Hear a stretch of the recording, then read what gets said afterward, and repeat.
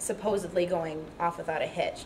So he did a lot of research and found that instead of 34%, actually 60% of Dr. Marcos's patients suffered life-threatening complications um, and had to obtain um, patient consent in order to have any of the findings he found um, published or used in any kind of lawsuit. Um, what this meant was that he had to go back and get all of the patients who he had used their information from and have them sign a waiver so that he could basically use um, their information.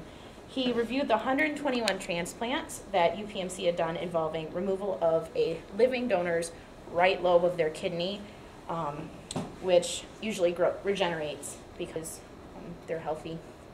And um, Dr. Starzl's findings also showed that the living donors that were supposedly not going through any complications were actually getting sick and their livers were not regenerating as quickly as everyone thought they had.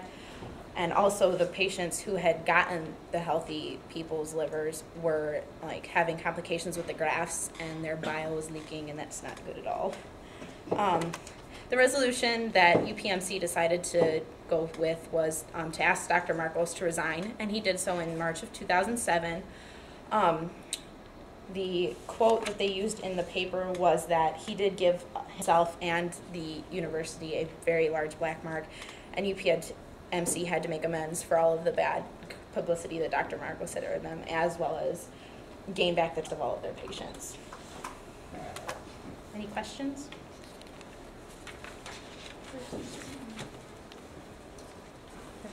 Um, was it worth it to use the expanded criteria donors even though it did put the people at risk? Dr. Marcos defended the fact that 50 patients die each year at UPMC.